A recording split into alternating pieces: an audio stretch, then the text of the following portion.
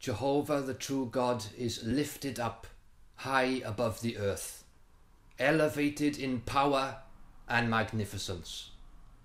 He is the only real God and the only true Saviour who can save human beings from their own self destruction. We bow before him and we thank him for putting his Son in power over the earth as the new King. Jehovah is the God of love. His Son Jesus is the Prince of Peace.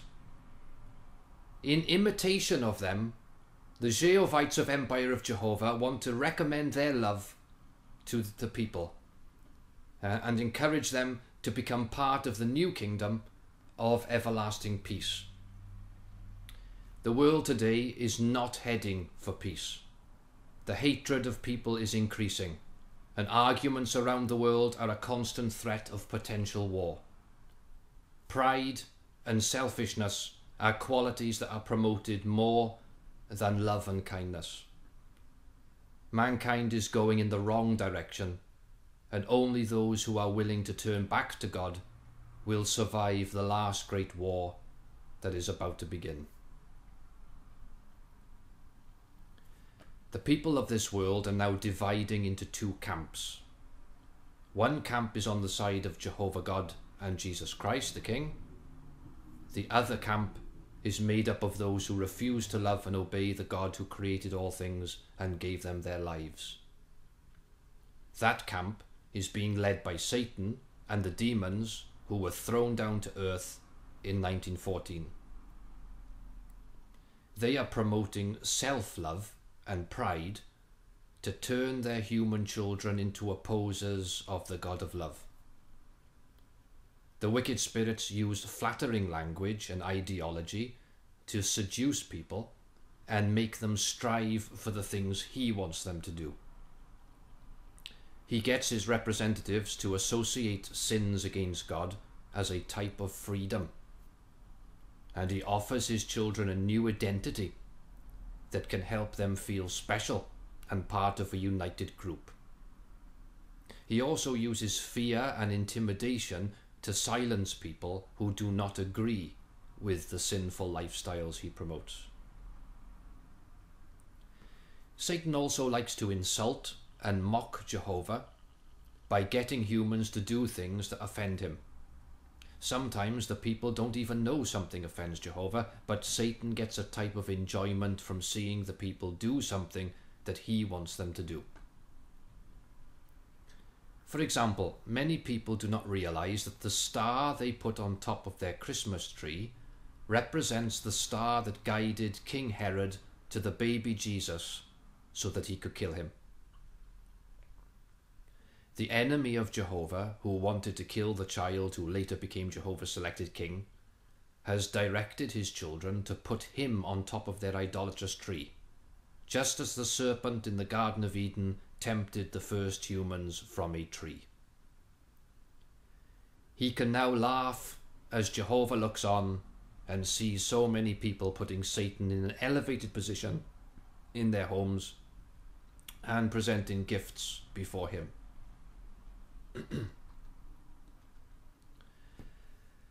Another example is the use of the cross by many who claim to follow Jesus.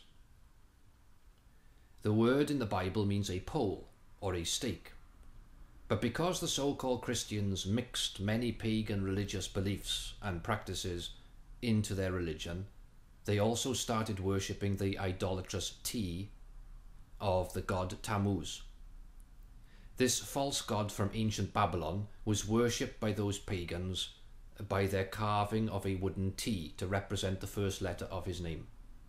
They worshipped this T, but did not worship the true God Jehovah who gave them everything that they had. This was an insult to Jehovah and offended him. So even if some so called Christians today do not know the real meaning of the cross, Satan enjoys seeing them worship it. Homosexuals are people who practice an activity that is offensive to Jehovah their Creator. This is what Romans chapter 1 verses 26 to 27 says. God gave them up to disgraceful sexual appetites because both their females changed the natural use of themselves into one contrary to nature, and likewise even the males left the natural use of the female and became violently inflamed in their lust toward one another, males with males, working what is obscene. Jehovah here describes homosexuality with two adjectives disgraceful and obscene. And so Satan enjoys seeing human beings doing those things. In order to encourage more and more homosexuality, Satan has made homosexuals a kind of protected category of person.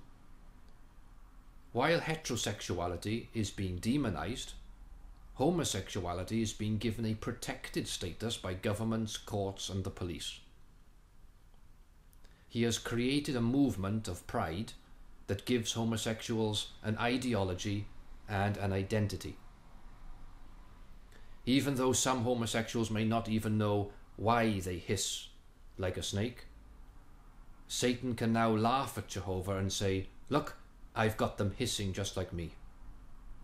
Revelation chapter 12, verse 9 says, Down the great dragon was hurled, the original serpent, the one called Devil and Satan, who is misleading the entire inhabited earth.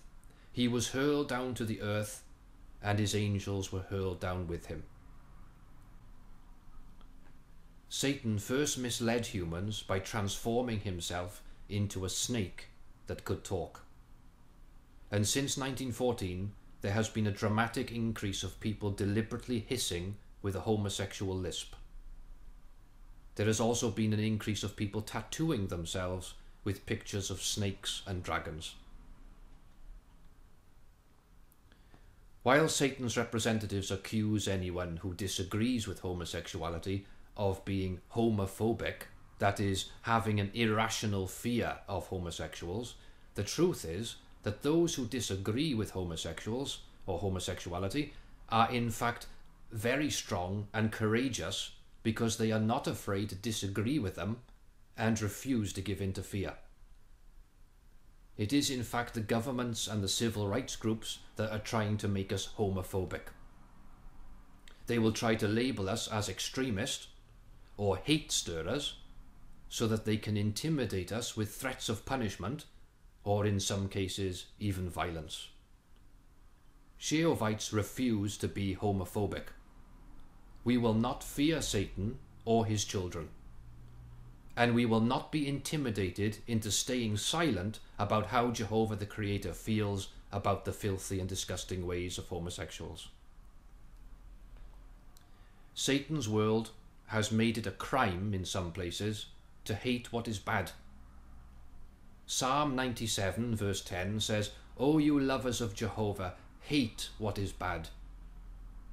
We are commanded by the true God Jehovah to hate what is bad. Satan may have made it a crime to hate the personification of him, but we will not give in to fear and intimidation. By making it a crime to speak against homosexuality, the world has legitimized hatred of us. They will now feel legally and justifiably correct to persecute and hate us because they can label us as criminals for our viewpoints. But Jehovah's people have always been hated by this world. We have to be prepared for that, and we must never cower before it.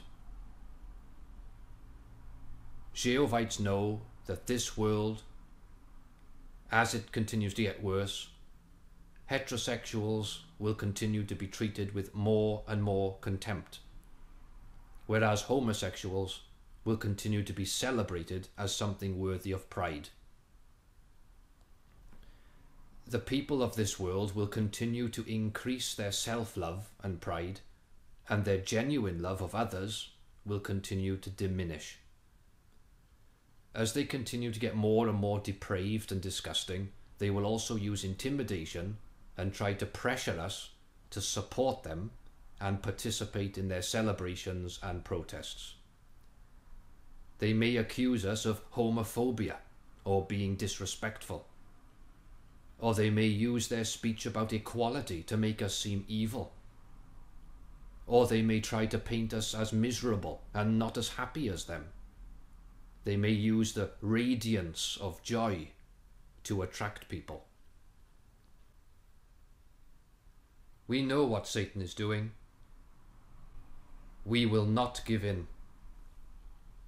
Jehovites will not be pressured to express any kind of support for homosexuals or say or do anything that expresses approval or acceptance of their lifestyle, ideology, or personification. But we will continue to encourage them to accept Jehovah's commands and make changes so that they can get salvation and life from Jehovah, the God of love. The division of mankind into two opposing camps is becoming more and more clear. Those two camps will be on different sides during the Great War of Armageddon. Only those who are on Jehovah's side will survive. Anyone who wants to be in the middle will not really be truthfully on Jehovah's side and will not survive. Jehovites of Empire of Jehovah fear Jehovah God. Only He has the power to destroy and the power to save. We stand on His side of the battle line. We bow before Him. We worship Him. And we stand ready to act in the service of our royal King, Jesus Christ, the Prince of Peace.